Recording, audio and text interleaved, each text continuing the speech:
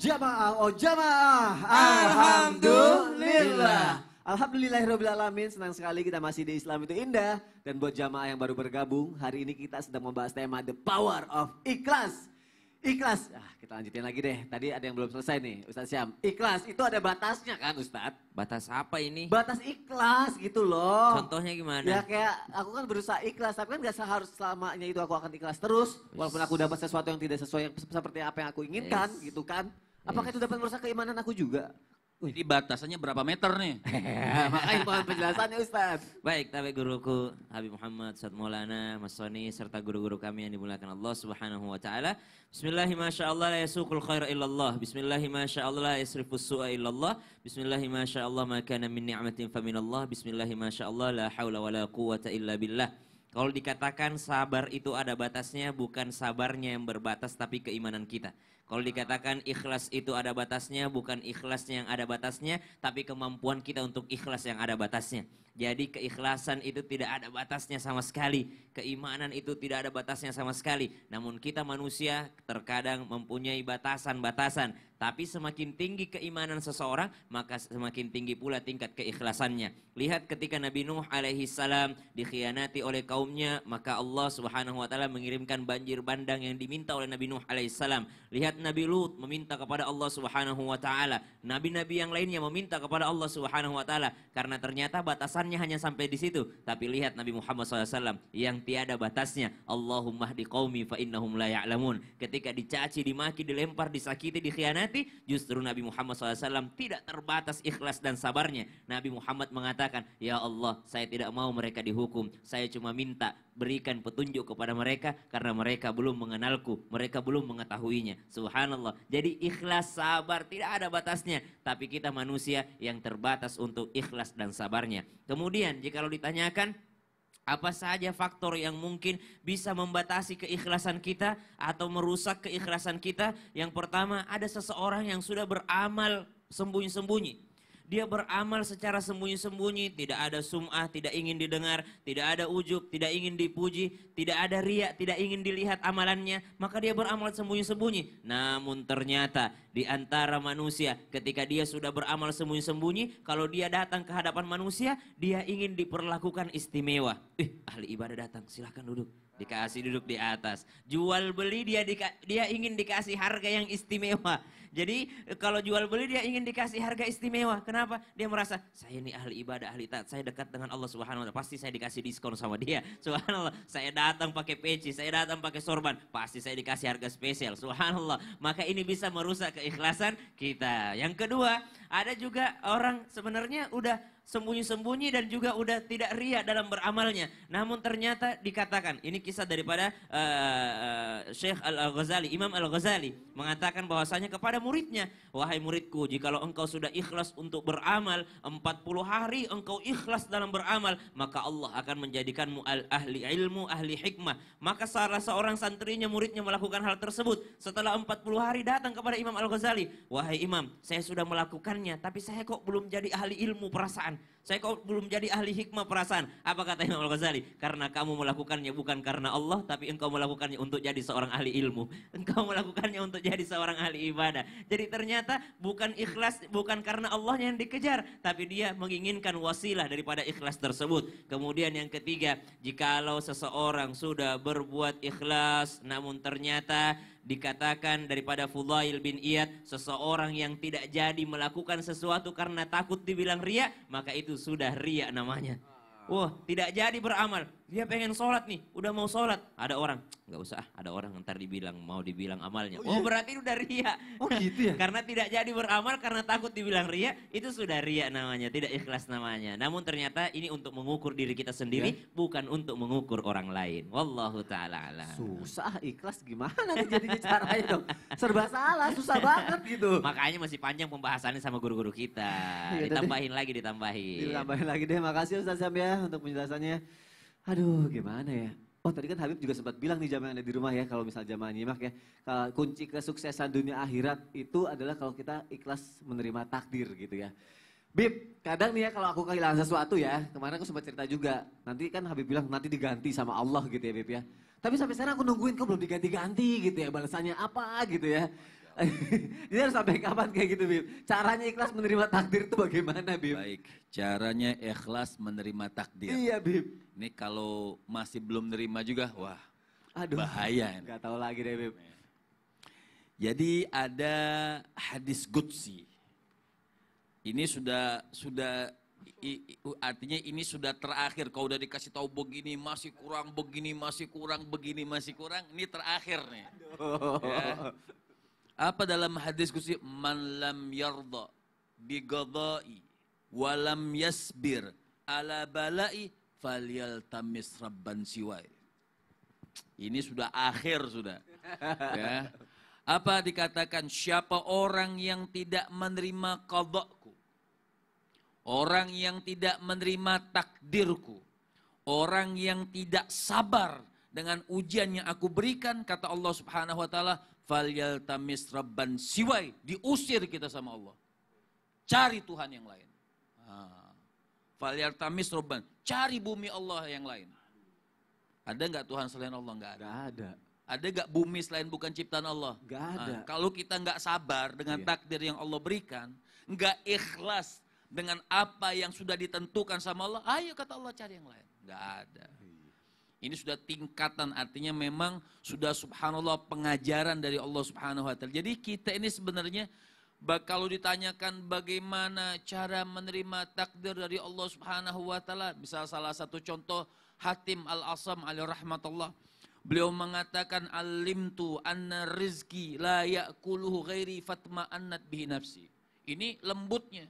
Imam Hatim al-Asam itu beliau mengatakan aku tahu nih alimtu anna rizki Aku tahu bahwasannya rizkiku ini kalau memang sudah punya aku, ya kalau memang sudah tulis, nggak ada urusan, oh ini lewat gara-gara sakit, oh ini lewat gara-gara misalnya omikron, oh lewat gara-gara abikron misalnya. Abikron. Bukan Ya. Umi itu. Ya. Omi, bukan Hah? Umi. Omikron, Oh, bukan Omikron, ya. Abikron Ar- lagi. Artinya nggak ada gara-gara itu semua tidak ada, itu semua ujian, itu bagian daripada ujian.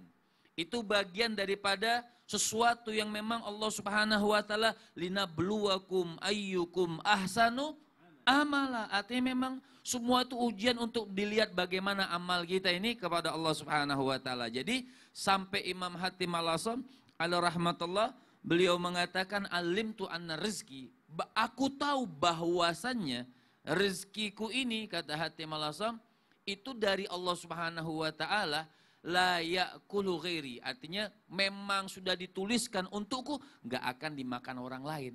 Jadi nggak ada sebab apa-apa kalau memang sudah punya kita mau misalnya ada penyakit ini bisa diundur sama orang, oh nanti saja dua bulan kita tungguin, dapat kita, berarti itu memang punya kita. Kalau memang orang nggak bisa nunggu, berarti memang bukan punya kita, diberikan kita sementara hanya lewat, tapi untuk diuji, ini sabar atau tidak, ikhlas atau tidak, menerima takdir atau tidak. Seandainya apa yang sudah kita berikan kok nggak kelihatan-kelihatan nih pahalanya nih kok belum ada gantinya. Kan ganti itu nggak selamanya di dunia. Bisa dapat di dunia gantinya langsung, tapi juga simpanan kita nanti di akhirat diganti sama Allah Subhanahu wa taala. Masya Allah, sekarang aku mau ikhlas. Amin. Amin. Disebut Eh disebutin lagi ya? Oh, berarti Ya, mau tausiah lagi berarti. Ah, enggak, enggak, udah, udah cukup, udah cukup. Tambahan udah, udah, lagi. Udah, udah, udah. Tambah lagi dari Ustaz Maulana berarti. ya, udah, udah, udah, udah. Makasih ya Bib ya, terima kasih ya Bib ya. Ustaz Maulana, Ya. daripada aku terus, Ustaz Ya. Maulana tolong kasih kabar gembira dong buat jamaah yang ada di rumah. Oh kabar gembira kalau Islamic Linda tayangnya spesial di bulan suci Ramadan lebih awal. Wah, Yeay, jam jadi berapa nih? Jam 4.15 4.15 sampai jam Allah. 6. Jadi jangan sampai kelewatan ya jamaah yang ada di rumah ya. Dicatat, diingat, dan ditonton jamaah yang ada di rumah. Yuk kita lanjutin lagi. Ikhlas. Kita bicara mengenai ikhlas. Apakah benar nih ada tingkatan dalam keikhlasan? Ada. Apa tingkatannya Baik itu? kita bahas. Izin. Ustaz. Makasih banyak Mas Sony. Izin Habib Muhammad Syahab. Ustaz Masya Allah, Tabarakallah. Satu hal buat kita, kepada semuanya. Ini luar biasa bagaimana kita memantapkan diri kita. Ingat, kita akan kembali ke rahmatnya Allah, kasih sayangnya Allah. Dan berikut amal-amal kita, ya Allah ya Karim, itu diproses naik langit pertama, kedua, ketiga, sampai ketujuh. Mudah-mudahan ibadah kita itu ikhlas. Karena semata-mata hanya kepada Allah. Baik, saya harus sampaikan kepada semua jamaah. Ada tiga tingkatan ikhlas. Tingkatan yang tertinggi adalah tingkatan yang ibadahnya hanya kepada Allah. Tidak mengharap selain Allah. Tingkatan yang kedua, dia beribadah kepada Allah, tapi masih berharap akan eh, pahala, surga, agar terhindar dari neraka itu. Itu tingkatan kedua. Dan tingkatan yang ketiga, ada orang beribadah eh, berharap dunia. Ah, berharap dunia. Kalau ada orang beribadah supaya terlihat alim, ada orang beribadah supaya terlihat, uh rajin banget sosok di masjid. Ah, ada orang beribadah, maaf saya pinjam kata-kata ini. Hmm? Biar duitnya banyak, Duitnya Iya. contoh salah ya gitulah. Contoh ibadah. Tapi berharap supaya dapat ini dapat ini. Dilancarkan urusannya dia. Ah, itu masih ada unsur unsur dunianya. Maka ketika ada orang beribadah mengharapkan kebaikan yang ada di dunia dia ikhlas. Ikhlas termasuk ikhlas. Cuma tingkatan paling bawah. Karena dia berharap apa yang ada di dunia tapi ketika orang berharap, ah baca ini, lakukan ini, supaya nanti masuk surga. Berharap surga, berharap terindah dari neraka, maka itulah tingkatan pertengahan. Tapi yang kita yang diharap mudah-mudahan ini juga susah. Makanya ada pernah kita ada lirik lagu itu bagus banget. Jika surga dan neraka tak pernah ada. Cukup cukup. Masih Jangan- jangan terusin. Kenapa? Ya, Tunduk kepadanya. Ulang lagi. Habib gak hafal ya. Jika surga dan neraka tak pernah ada. Masihkah kau sujud kepadanya?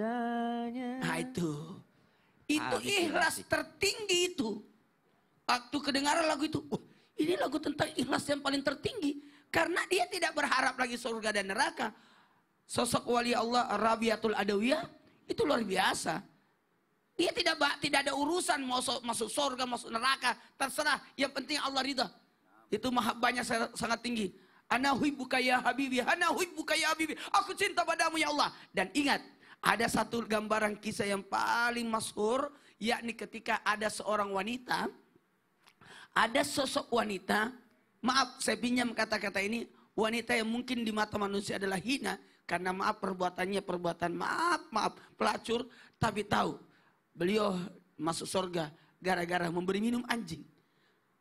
Beberapa ulama berpendapat ya dimaksud di sini salah satunya selain eh, karena adanya ikhlasnya dia membantu anjing tapi tidak berharap balasan dari anjing itu. Ya Allah, dari gara-gara itu aja bisa ya. Iya. Ya ampun, itulah uh, hebatnya keikhlasan ya. Keikhlasan ya. yang sangat tinggi luar biasa. Terima kasih Ustaz sudah Iya, menjelaskan iya, iya. tingkatan-tingkatan dalam ikhlas. Tapi memang ya manusiawi, nggak tahu ya manusiawi apa aku doang. ya. Memang sih kadang aku ibadah ya karena ada Iya, embel-embelnya nggak juga apa-apa. gitu. apa ya. Makanya nanti bulan suci Ramadan anak-anak kan diiming-iming. Iya. Siapa yang biasa bisa puasa Full. ini full dikasih ini enggak apa-apa. Oh, belajar dari situ ya, Tapi Ustaz, ya? tetap ikhlas tapi tingkatannya ada tingkatannya. Baik, Masya Allah. Terima kasih Ustaz Maulana Iya, untuk iya, iya. penjelasannya.